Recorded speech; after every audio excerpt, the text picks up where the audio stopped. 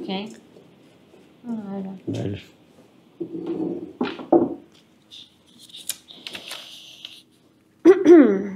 What's a, re- what's a recent experience that you that changed your perspective on life? Hmm. Recent experience. Madoff, I need to think about this. Recent experience. Diffiċli din, eh? Diffiċli. Um, I'm trying to think. perhaps you met a client, who like to help you out a little bit. Perhaps. the client. No, I think.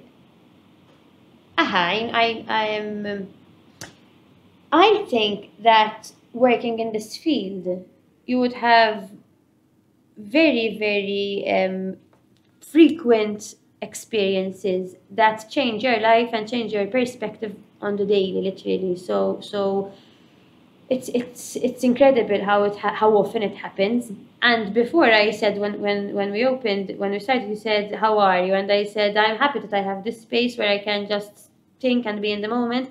Because most of the time, these are the, the, the, the experiences that I would go from one to the next without reflecting on how these would have um, changed my life. Um, working with children is something that always inspires me is um, is their sense of gratitude and selflessness.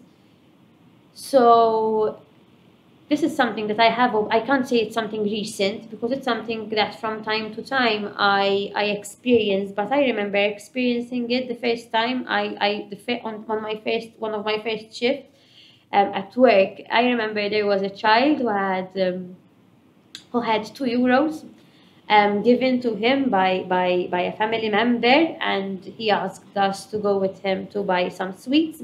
And we had another client with us, and he told this client, "Come, issa from these euros, buy something for yourself as well. So we'll, we'll split them."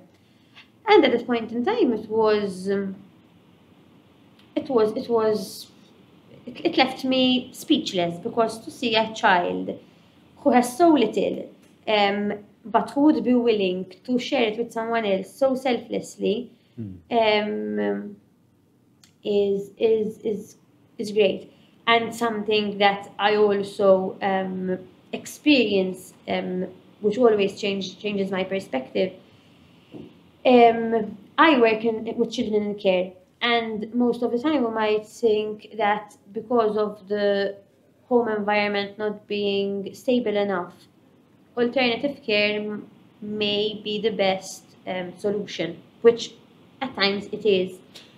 But sometimes we fail to, to keep in mind that no matter how dysfunctional the family of origin may be, children have a longing to, to, to be with their biological family. There's this connection. So I think as professionals, it would be foolish for us to think that we can eradicate that connection. And it is within our responsibility to to support both the child and the family unit to build a healthy connection but the connection needs to be to, to stay there. Because children i think we all do but but it, it, it is manifested in children um, very very very well. Um, children have this longing have this wish to have this connection with their roots in terms of identity, in terms of where I come from, in terms of, of, of what made me. So so that is something that that I, I think has changed my perspective over the years. Thank you for sharing that. You're welcome.